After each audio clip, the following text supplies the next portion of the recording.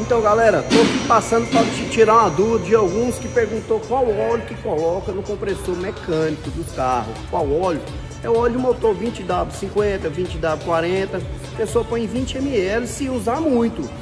Se usar de 15 15 dias, coloca 20 20 dias, até 30 30 dias coloca mais moderadamente, só uns 20 ml. Beleza? Quem viu esse vídeo quiser saber como é que coloca o óleo no motor, se der muita curtida, eu vou fazer um vídeo explicando como é que coloca o óleo. Entendeu? Se o povo tiver interessado nisso aí, tamo junto. É nóis.